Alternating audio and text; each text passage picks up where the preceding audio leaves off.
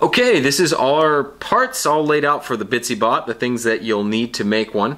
Now you can make yours out of a broad variety of things and we highly recommend that you do that. Uh, the only thing that you really have to have is, is the Arduino. Uh, everything else you can switch uh, out for other things. You can use different types of batteries, you can use different motors, uh, etc.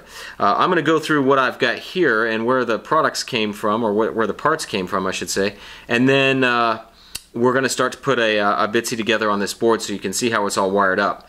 Uh, but if you don't happen to have two hair dryers that you can take apart, you can either go and buy two electric motors and get some wheels for them, or there's a variety of things you can do to solve uh, that problem.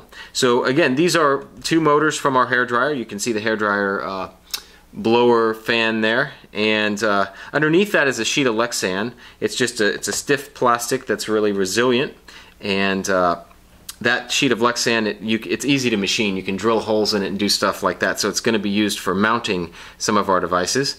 And uh, it, you can get that at uh, you know a hardware store for a few dollars. And this is a uh, universal remote, and it can be gotten at Target for around eight dollars. And we're going to use that to control our Bit-zee bot. And then we've got some uh, we've got some electrical tape and different uh, 22 gauge wire and then we have some solder here. We'll use that to make our solder connections uh, just like if you saw the video for the motor controller it was used to, to solder that together. And this is a motor controller which will allow us to control the speed and direction of our motors. And this is our Arduino. It's our microprocessor that we can plug into I should say a microcontroller that we can plug into our computer and download code to it to get uh, the motor controller and other things to function uh, the way we want them to. So this is a breadboard and it's used for prototyping and we're going to show you how to how to wire it up and what and how to connect different electronic components to that. And this is our digital recording module and it's for basically recording uh, sounds and playing them back and we're going to use the Arduino to trigger that so that when the little bot drives around it can make some sounds.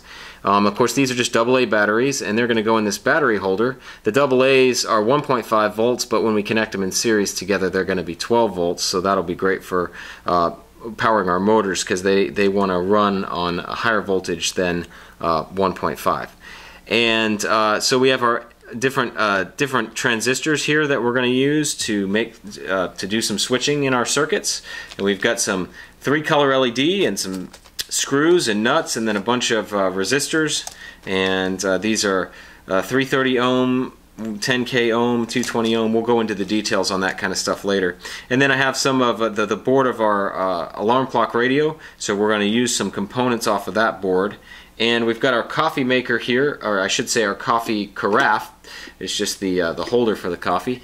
And we're going to use uh, some of the components on this uh, for the Bit-zee.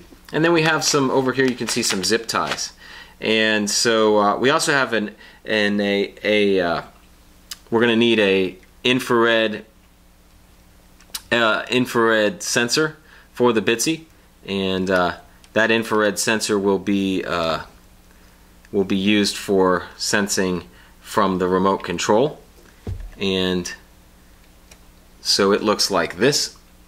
And we'll have we'll have one of those as well